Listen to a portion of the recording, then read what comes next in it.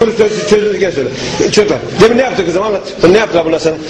Evet. Öğretmenim demin ben şimdi soru yazıyordum tahtaya. Evet. Soruyu yazdım.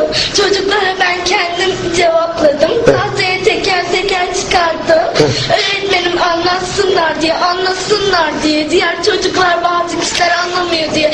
Anlatsınlar dedim. Orada şey diyor ki Burak yok ben bugün başkanım. Yok sana not verelim. Yok şöyle yaparım böyle yaparım. Anlatmaya çalışıyorum. Herkes kendi aleminde. Ben böyle başkanlığı nasıl yapayım şimdi?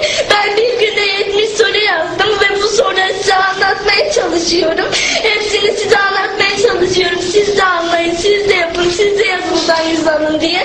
Ama siz beni dinlemiyorsunuz. Orada Hamza bir şeylerle uğraşıyor. Burada Hüseyin'le Atalay beni dinlemiyor. Kavga ediyor. Ben ne yapayım böyle? Ben nasıl başkanlık yapacağım?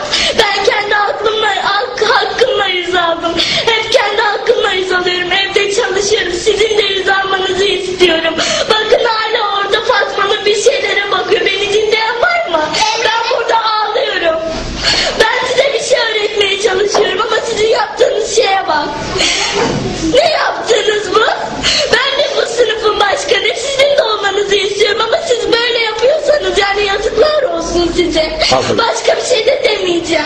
Gel. Öğretmen beni ben fakirim diye başkan yapmadı.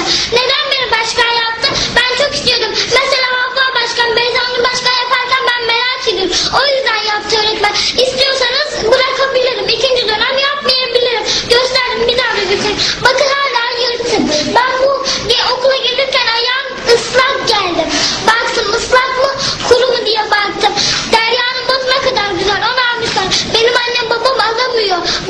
Çalışıyor inşaatın 5. katından düştü.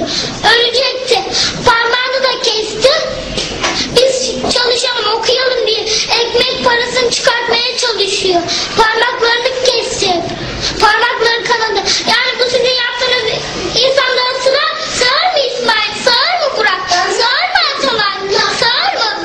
Söyleyin cevap verin şimdi. Aferin kızım. Aferin. Cevap